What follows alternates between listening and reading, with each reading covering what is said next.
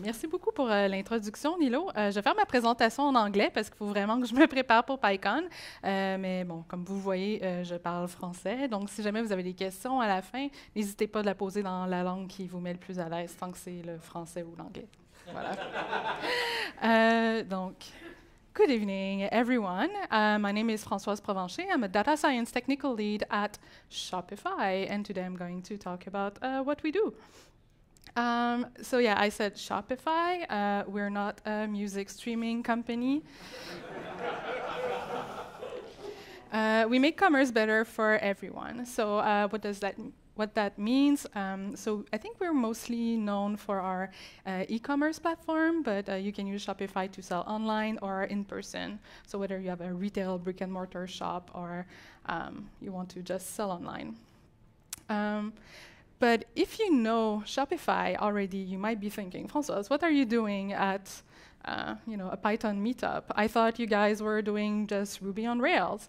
And uh, well, I mean, you're right. Uh, Shopify is one of the biggest and, well, largest and uh, oldest uh, Ruby on Rails application. Um, and most of our engineering department uses it on a daily basis. Um, most of them, but not all of them because in data science and engineering, there's at least 150 people that use Python on a daily basis. Um, our whole data, uh, data warehouse is powered by PySpark. And uh, at PyCon, uh, I will share the stage with my colleague um, Chris Fournier, who's a data engineer at Shopify, and he will talk a bit more about that. So it's going to be probably, I hope, uh, taped. So if you ever want to, to see his talk uh, in a couple weeks when they are released. But today I'm going to talk more about the data science aspects. And um, it's not only about the tool, it's also about the community. Um, so I personally, uh, I'm one of the organizers of PyLadies Montreal. Uh, my colleague um, at, at, Shopify, uh, Catherine, is the organizer of PyLadies at Toronto. Uh, the sound guy tonight uh, works with me, and um, and also we we host um, the Ottawa Python meetup, um, and even the guy who organized PyCon US in Montreal works at Shopify. So I, I, think the, the people in this organization really care about the, the community and we're, we're really present. Um, and so that's why we're um, sponsoring PyCon this year as well. Um, also, um, the library that Tristan talked about, uh, Lifelines, was created by one of our coworkers. Uh, we use it internally, but it's also available uh, externally. And um, you know, we, we have a, a couple other um, libraries that are open source, and people also, um, you know, in their free time, um, contribute to the the libraries um, in Python. So I'm just going to give a, a quick overview of what we do on a daily basis as a data scientist, because data scientist is like a really broad term. Um, so one of the things that we do is ETL, uh, extract, transform, load. Uh, it's interesting because I think that in some companies you have ETLs engineers and then the data scientists only touch the data once it's you know, it's cleaned and it's, it's available. Uh, while we are also responsible um, for you know, the, the collection of the data and the cleaning. So in, in the ETL, um, we write uh, PySpark jobs to um, you know, transform the data with the business rules to, to clean it and to um, put it in um, the data front room, uh, well, the front room of the, the database uh, for everyone to use uh, in the company. So um, I really like it because when I'm building my models, I know exactly how the data was clean, and I'm also empowered to go and look in the code because like everyone, you know, uh, in our job we, we know PySpark, so it's easy to know when something is wonky um, to deep dive and figure out what it is. Um, as data scientists, we also do A-B experiments. So um, that is something that you do when you want to figure out um, is feature A better than feature B? Um, so that can be uh, done, say, when you before you release uh, a new version of something, or you're just really curious and you want to know, uh, you know, should we uh, put a little icon of a padlock so that people feel more secure during a checkout or not? Uh, so this is a, a screenshot of, um, of what it looked like. The, the whole um, um, you know, backend is in Python. And I'm just showing the um, conversion rates here, but we also have the survival analysis one, and that uses lifelines. Uh, we also have a team that is uh, completely dedicated to uh, creating recommender systems. Um, so if you're a merchant and you need to uh, find the best theme or the best apps, uh, we will recommend them for you. So uh, we do personalization um, of the product um, via recommender systems.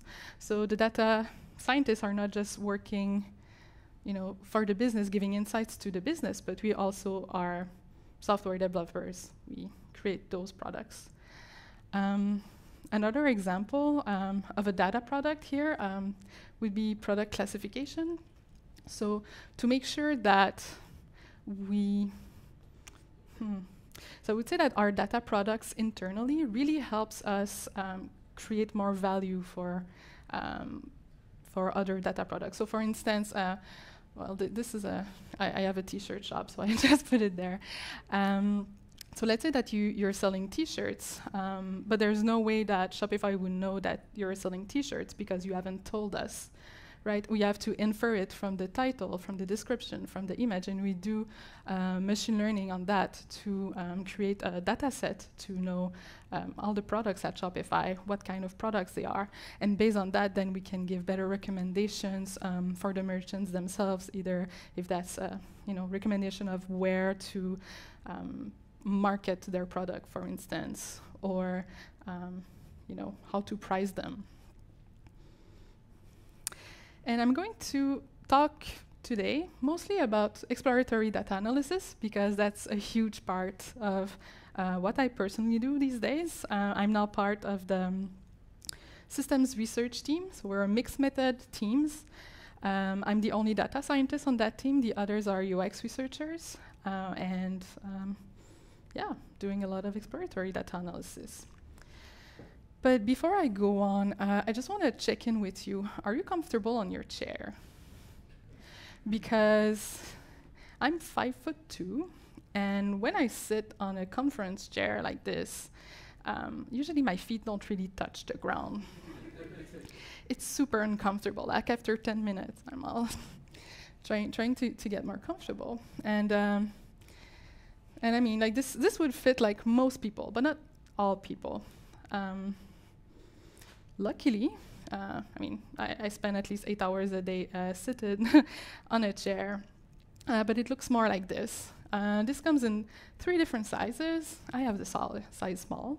Um, my feet touch the ground. I, I can adjust, uh, you know, there, there's something like 12 different adjustments that you can make on a chair like that. Um, but it really takes into account that I'm a bit different than uh, you know, someone else.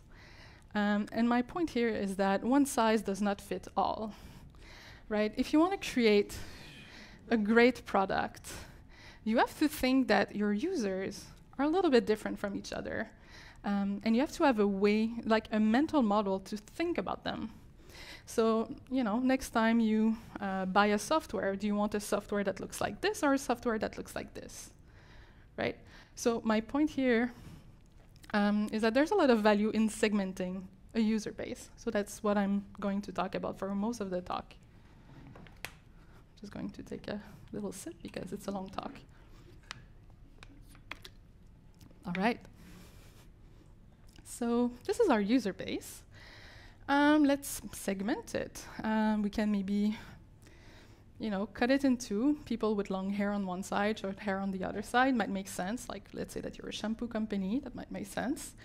Um, but there's maybe, you know, something like this, like people with glasses, people wearing hats.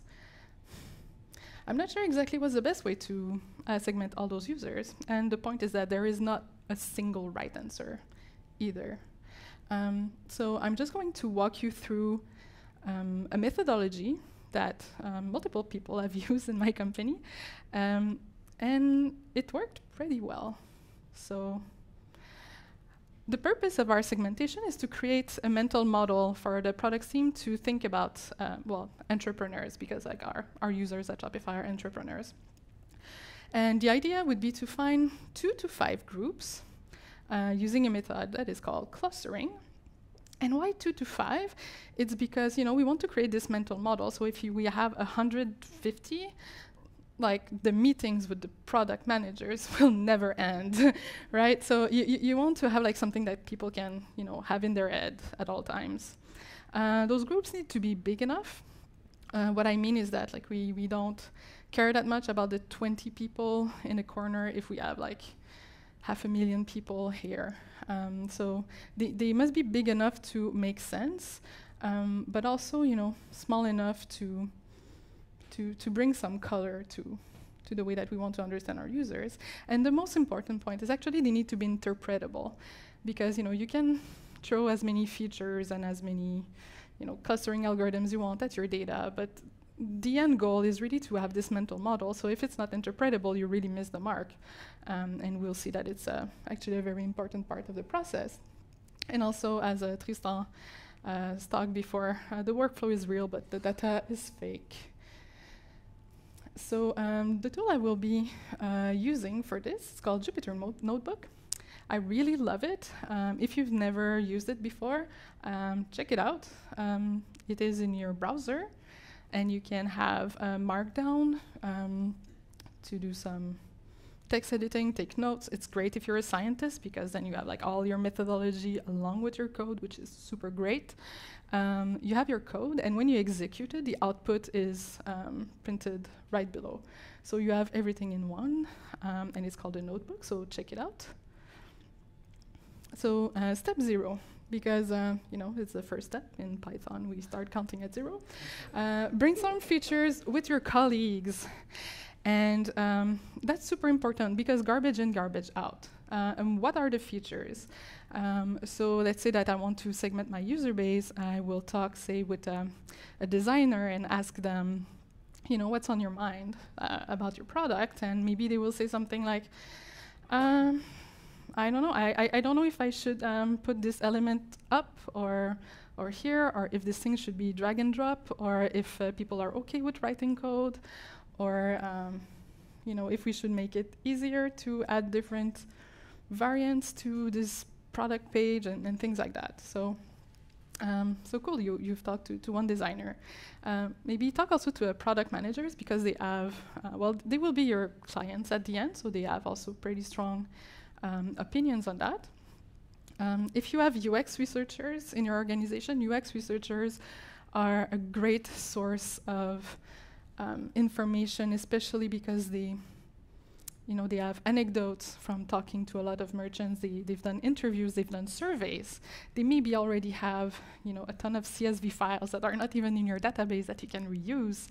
Um, and they, they have a lot of empathy for the users, so they're a really great source. But if you're in a small company and you don't necessarily have UX researchers, talk with the, um, the people in the customer support they talk with your with the end users uh, the most, and they have a, a, really good idea of what is easy to do, what is not easy to do, and the different types of people that they interact with. So, um, you know, at this stage of a project, the risk is all the unknowns unknowns. So, uh, by talking with people, this is how like you you figure out those unknown unknowns, and then you get uh, well, they become knowns basically. Then step one, um, get data from, from multiple sources. As I said, you might have already survey data floating around in a CSV file, and you might have a colleague that has already did an ETL job that would uh, dump a very nice data set in the front room in a database. Uh, but you might also have you know, petabytes of data uh, on HDFS, and you want to exploit that. So um, once you have your grocery list of features, um, you can go in and uh, put them all together. So just uh, import pandas, and at Shopify we have something that's called Starscream, uh, which is basically our um, ETL pipelines. Um, so the, the read method will um, just help me read a, um, a folder on HDFS uh, to have it as a PySpark data frame. Um, so cool, with pandas I can read from a CSV. So this is where I got my survey data. We have this very cool thing that the, the data engineers made. So it's, um, it's a Python command that you can um, pass um, a string that is SQL, and it will return the pandas data frame, which is uh, super useful. Uh, and you can, um, you know, use the read method, get the PySpark data frame, then do your heavy uh, manipulation. So here, say I'm grouping by, say, shop ID. This might be, you know, the data itself might be too big to fit in memory, but uh, since it's uh, it's in PySpark, my cluster will, you know, take care of it, aggregate, and then return it to me um, in a pandas data frame as well, and then I can join everything together. So, like a, a few years ago, this was not possible uh, where where I work. Um, but now we have all this cool tooling, so you know, in a few lines of code, I I have all the data uh, I want in one big uh, data set, in this case, a pandas data frame. Um, so my step two would be just the basic cleaning, you know, removing rows. So maybe in my survey, uh, the survey was localized, so I just want to keep, um, you know, the, the rows of the users that answered in English. I want to remove some columns. Uh, so for instance, like a lot of questions are, um, you know, other please specify. I don't necessarily want those for, for my clustering. So I will just remove them.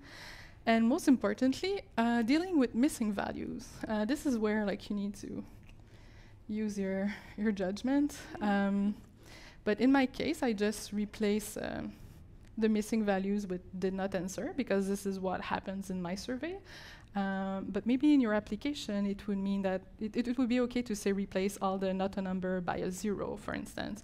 Or maybe it's not okay and you should really remove those rows. So you have to, to know your data, to know what is appropriate to do here. But in my case, I just um, replace it with did not answer. Step three, do more feature engineering because now you have your, your feature that were given to you basically um, by your database. But a lot of times, uh, a good feature might be an interaction between two other features. So for instance, um, uh, well, I talked about variants in products. So let's say uh, my product is a, a, cardigan like this, and the variants might be, um, you know, five different sizes and five different colors. So I have 25 different variants. Um, versus uh, someone that sells uh, something else, maybe microphones, and uh, there's only one of this kind, or maybe two because you have like different voltages or something like that. So maybe the needs of those, you know, of people who sell a lot of variants is different because the product complexity is not the same. So maybe that's an hypothesis that I have, and maybe I want to have this feature in my data set. Well, it's pretty easy. You just add it. Um, so I find that uh, a ratio, say, of variants to products, um, would be uh, an interesting feature to have. So uh, that's something you can keep in mind. Uh, think about like, you know, what are the features that would be interesting to have as ratios? Um, other ideas, um, bucketing, especially if you have um, categorical data, you can put them into buckets. That's what I call bucketing. Um, differences, uh, especially uh, with uh, time, a bit like what um, Tristan said a bit before. Maybe you're not that much interested in the date that people started something and they stopped doing something or did something else. Maybe you're interested in the duration between those two events. So uh, think about differences. And I put logarithm, logarithm uh, in there because sometimes, um, you know, things just scale logarithmically. Um, so for instance, I don't know, some physical things like like the, the, the power of uh, of sound or um, other things like that, or like the, the perception of sound is uh, logarithmic, so you might want to, you know, if you have the just like the acoustic pressure, you might want to take the logarithm of that instead, or you know, things like that. Um, cool. Then now that we have all this data, you have all kinds of numbers in there. Uh, and some of those numbers might be really big and others really small. So if you want your uh, clustering algorithm to work, you need to put everything in like, you know, in, in, in a nice range. Um, so one of the first thing um, I like to do is if I have categorical data, so let's say do you have a retail location, you have maybe three different answers. Uh, you can do one hot encoding that is also called um, dummy variables. Um, and in so I, I, think it depends on in which community uh, you are. Um, I don't know why, like my colleagues call it one hot, one hot encoding, but in uh, pandas it's actually called get dummies. Um, but what it will do, it will um, create three different um, uh, columns with ones and zeros depending on uh, if uh, the user had this attribute. So um, it's pretty cool because now um, I can give this to an algorithm because it's numbers, while in the first case uh, it would not have worked. So um, you do that. Um, and if you have other things like um, you know, numbers uh, that are not between 0 and 1, for instance, uh, you want to, to scale them. Um, so here I just have a, an example. So maybe you have the number of apps that the store installed, um, but instead of having the values between 5 and 15, you might want to have them between 0 and 1. And this is very um, useful that scikit-learn has a lot of different um, scalers. Um, I like the min-max scaler because I like things to be between 0 and 1 but um, you know, you, you might uh, prefer another one depending on your application. And now, dimensionality reduction. If you've ever done machine learning, you've heard of this, uh, the curse of dimensionality. Um, I recently did some clustering on my um, survey data. I had something like 100 different uh, dimensions. And you know, when you are in high dimensions, your um, your distance matrix, your Euclidean uh, distance, uh, start to lose sense because uh, in 100 dimension it's just like everything kind of looks the same. So you really have to uh, reduce it to um, less dimensions. So something that is pretty um, um, yeah that that people do very often is using a PCA, principal component analysis. So here I've just uh, plotted uh, the number of components and um, cumulative explained variance. So that's what usually people uh, look at. So basically what it shows is that you don't necessarily need to keep all of your um, of your features because you know you would get most of it right. Um, but I kind of like to also dabble a little bit in this um, and see like in just you know in just two uh, components, just two dimensions, can I get away uh, with a pretty nice clustering? And then uh, we'll use k-means for this. Uh, so if you've done some um, probably Coursera class, or if you use a scikit-learn before, uh, the very classic example is with the iris dataset. So that's maybe what you have in mind uh, when you think about, let's cluster something. Um, it looks like this. You have, you know, three classes that are pretty well separated from one another. Maybe not the two in the middle, but, you know, there's one that's pretty different. Um, and yeah, and you might apply, you know, a couple different, um, um, how do you say, um, you know, ways to look at how your clustering is good, such as the silhouette score or the Calinski-Harabasz score or the sum of um, of means inside your clusters, and it will all look good, and you will always have like the nice elbow or the nice peak for those things. But what I've seen in the wild looks more like this. Um, so um, people, um, people are on a really interesting spectrum of behaviors and of um, tastes and of um, personalities.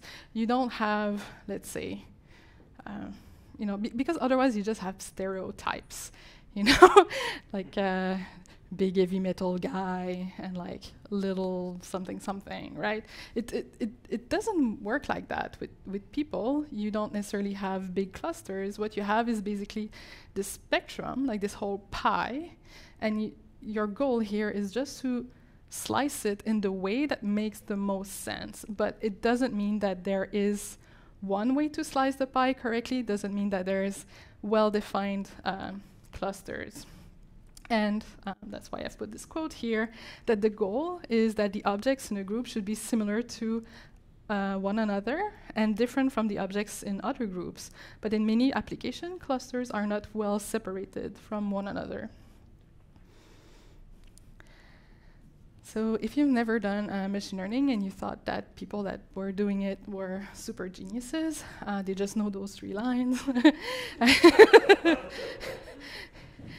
so, so actually the hard part about machine learning is everything that I said before. It's like the you know preparing the data and doing the the feature engineering and how you're going to interpret it afterwards and all that kind of knowledge around it. But actually, like the implementation in Python, like if you're doing like simple stuff like like k-means, uh, it's it's really just that. Now I have my clusters. Uh, and so when I have my clusters, it kind of looks like this. So I have my, you know, what hot encoded uh, features. Uh, you know, I've I only kept three because otherwise it wouldn't fit here. Um, and the, the number of um, my cluster. And the number is, is pretty meaningless. It just, is just um, you know, one of the colors that we, we've seen before. And that makes the interpretation part a really um, important part. Um, so the way that I found it was working really well for us was to do something that my colleague calls indexing. Um, so what we mean by that is that, um, remember like all my data, um, no, actually that's not true. Yes, okay, let me start that again. Um, so if you take your cluster data and you group it by cluster, um, you can take the mean of that thing. And then you can subtract the mean and normalize. So basically, everything that will be at zero will be, you know, uh, this is normal for my group. If you're closer to one, you will be, you know, over-indexing for that group. That means that it you your group is is doing this thing more than the others, and if you're at minus one, it means that your group is doing this thing less than the other groups. Um, depending on your application, like for me, this works really well because all my data is um, between zero and one, and I don't have like a lot of outliers. Uh, you can use the median instead. The, the, the idea is to find like what's your baseline? Is your baseline like the median for this thing or the mean?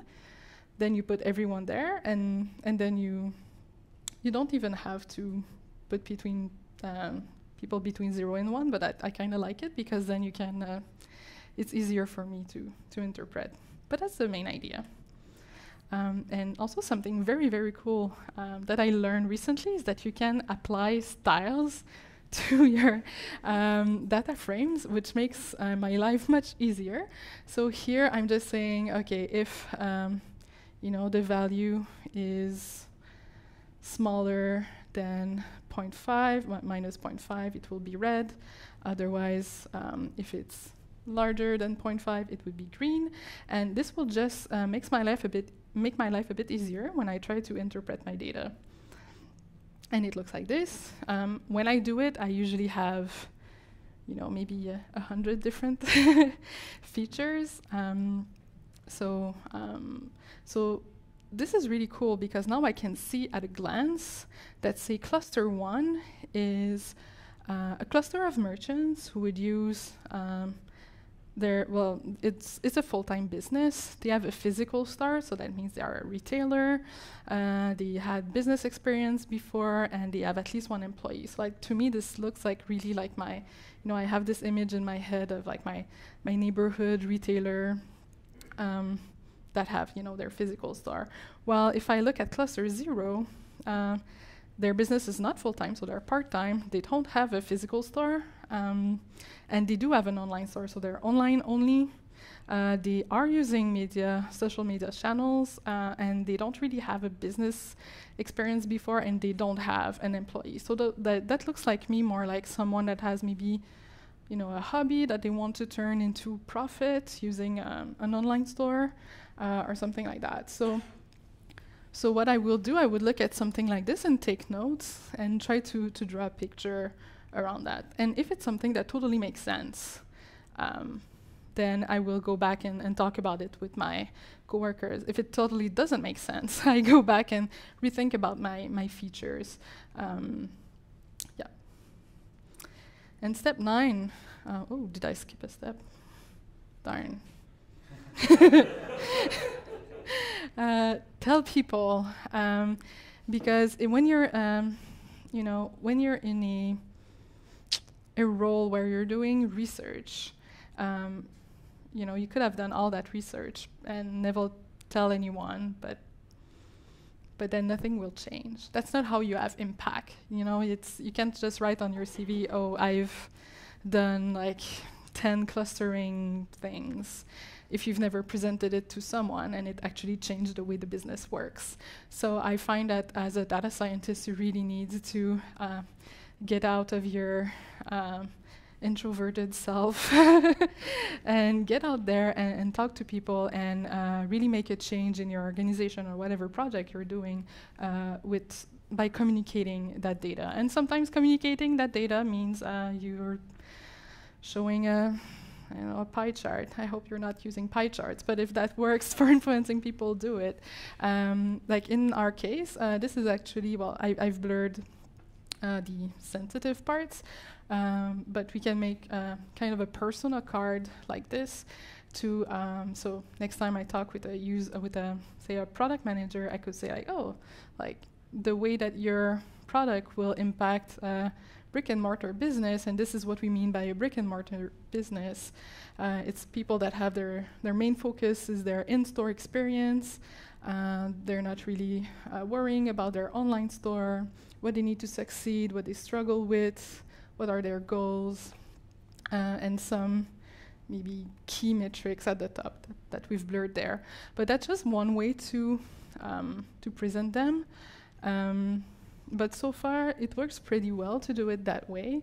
Um, also, I would say if you have um, you know, a channel in your company to do um, talks, uh, either like, I don't know, a Friday with a beer, get in front of everyone and present them this kind of thing, or just book a meeting with the appropriate people, but you need to get the word out.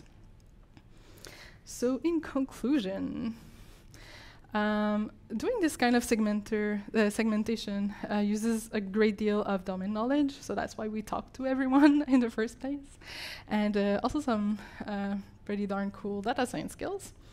Um, but also something that is maybe I haven't said explicitly so far, uh, but you've probably sensed it with all the cool tools that I use is that I'm empowered to do this kind of work with this scale of data um, because I work with a team of data engineers.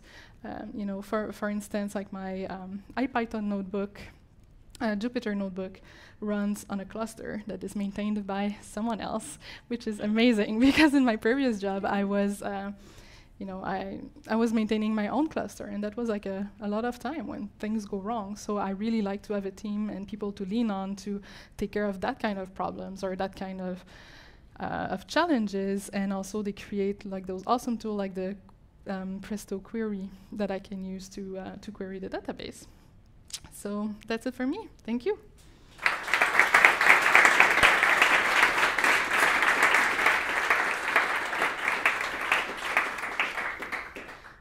Peux prendre des questions en français ou en anglais. Oui. I was really surprised. I don't know if you want to talk about this, but you threw out like all your dimensions except two, uh, and that, that gave you like what 10% of the variability or 5% of the variability was in two dimensions. Yeah. So uh, so you're talking about the PCA. Yeah. Right. So um, it's not. So are are you familiar with PCA? Yeah. Yeah. Um,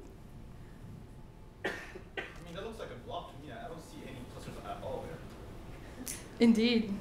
And the thing is that um, even if you're in a, you know, be because, okay, so what I usually do, and I didn't necessarily have the, the time to, to go through the, the whole process here, uh, I will use things like a silhouette score to, to look like if we do see some structure in higher dimension that I can see with my eyes.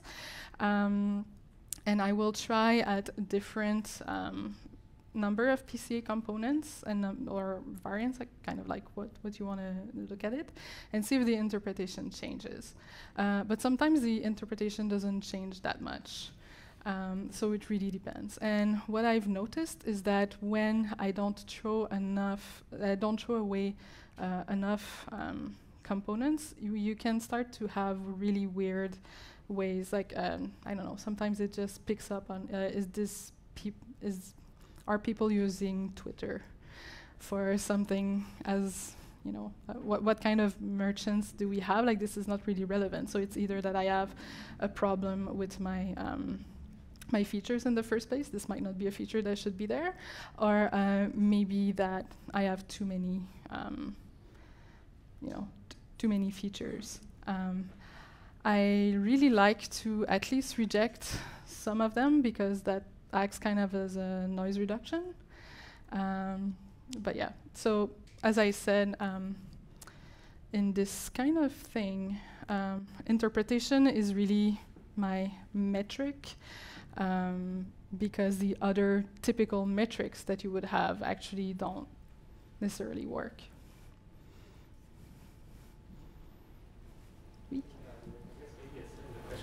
So uh, I see that after you got the clusters, you and you recenter them, you also normalize the item So does this mean the uh, variance between the different clusters doesn't really matter?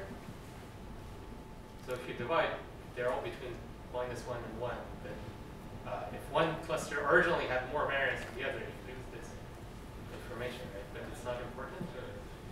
Yeah, so it, it, depends on your application. There's different kinds of um, scalers. Uh, some of them will um, re reduce all the so so k-means um, actually makes the assumption that your variance is kind of the same for all your clusters. Um, so it kind of makes sense to rescale it that way. Yeah, but on the other hand, like I said, um, you know, with this type of thing, whoop, there's not, you know, there's not only one way to. So, so, so, so the whole point is like more to have kind of a a data-informed way to get to those um, to get to those user segments rather than have say um, you know, just one assumption that, oh yeah, like we have retailers, we have people doing online stuff, and we have this. Well, when we use this, um, this kind of uh, procedure in practice, we find uh, like more nuanced and more rich things that we can then dig into. And actually, um, you know, to get to that point where we have a persona card, um, it's also about going out and interviewing people or like making sure that you know, so so I I, I, kind of sense that the people that do machine learning are like, what are you doing? Like with you, you, you don't really have clusters in there. Um, but the, the point is to really get to a point where you know you can group people in ways that kind of make sense, and in practice this works.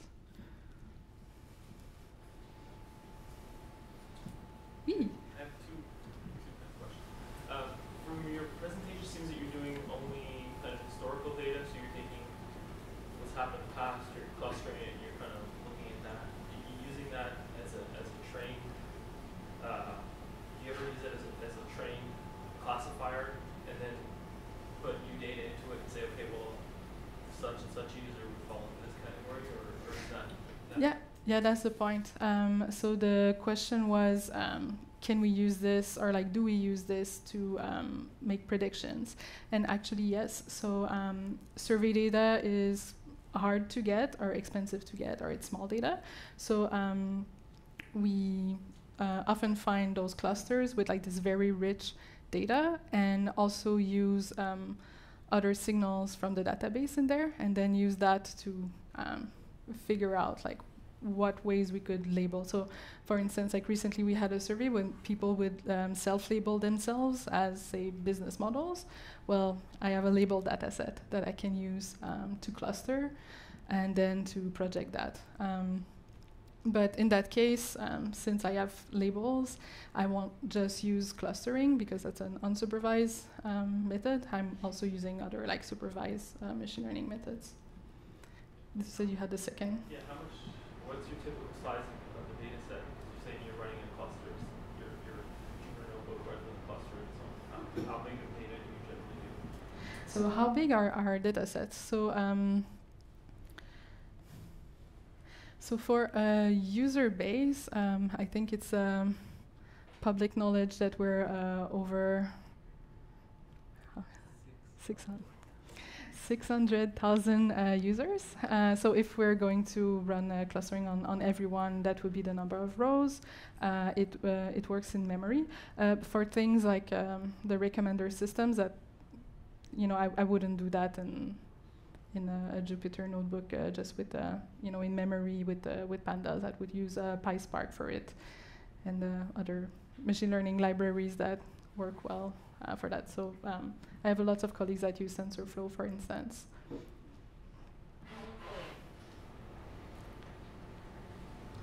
Do we have more questions? Yes. Yes. Euh, là, là c'est tu fais de la, de la some exploratory analysis, mais euh, comment, j'imagine que, en fait, la, moi j'ai des questions sur le step zero en fait. Tu parles avec, euh, like step zero being talk with my team, brainstorm features your colleagues. Euh, As-tu un exemple euh, d'un brainstorm qui t'a amené de, de, vraiment de step zero jusqu'à step, sans, sans repasser par step line, mais d'une feature que vous avez discuté, qui t'a fait de la, comment est-ce que tu vas véritablement amener de l'exploratory analysis à une feature euh, qui va rouler entre le Jupyter Notebook, très pratique pour faire son analyse, puis après d'amener ça à un pipeline en production qui roule à tous les jours avec, euh, comme, how do you ship it? How do you ship it? C'est une très bonne question. non, mais c'est euh, une excellente question. Euh, si j'ai un bon exemple de ça, euh, ben c'est ça. Quand je parle de, de features ici, je parle de. J'aurais peut-être dû être plus explicite. Je parle de, de, de, features qui vont être dans le fond mes, mes inputs à mon euh, à mon euh, machine learning model. Je parlais pas nécessairement de features comme de features de, de, de software, mais c'est quand même une, super bonne, euh, une super bonne question. Euh, mm, mm, mm, pas, en, fait, je dirais pas dans ce cas-ci, euh, parce que oui, parce qu'on les a surtout utilisés pour des choses comme, par exemple, recruter des, des gens pour des, des surveys ou pour, mettons, dire, on, a fait euh, X nombre de... Euh, on fait aussi du hardware, puis on veut, disons, le faire tester par des gens, puis on veut être sûr que c'est pas juste la même sorte de gens qui vont avoir le hardware dans les mains. On veut comme que ce soit un petit peu plus, euh, un petit peu plus balancé. Fait qu'on va utiliser ça, par exemple, une fois. mais j'ai fait d'autres projets qui n'étaient pas nécessairement du, clustering de, gens comme ça qui sont en production. Puis je te dirais que c'est euh, quand même toute une job. le, le, delta d'énergie que ça prend entre euh, avoir un prototype qui fonctionne sur euh, moins de data dans Pandas versus quelque chose qui va rouler à tous les jours puis qui va jamais failer puis que ton ton modèle. Parce que quand tu veux mettre quelque chose en production, il faut que tu fasses attention à plein d'autres choses. parce qu'il peut commencer à faire des mauvaises prédictions. Euh, il faut que tu sois capable de le monitorer dans ce cas-là. Euh, ça te prend une équipe au complet. Si je pars en vacances, euh, il faut qu'il y ait quelqu'un d'autre qui soit capable de, de, de, de, faire. Donc, on a des pipelines de machine learning en production, mais c'est vraiment, vraiment plus de, travail que ça ici, c'est plus comme comment arriver à un prototype. Merci. Ah, ça fait plaisir. Parce que le, le, le, but de ce que je fais, ce serait de le mettre en production aussi, mais Ouais. en, fait, j'ai des collègues qui ont, qui ont mis un, truc, euh, j'ai fait un prototype puis ils l'ont mis en production, mais ça a pris euh, quand même un, bout de temps euh, parce que c'est ça, il fallait, fallait construire tout le, monitoring autour. c'est super important, tu veux pas que ton algorithme commence à faire des niaiseries en production. mais maintenant que ça c'est fait, après ça, toutes les autres qu'on va faire vont être plus simples.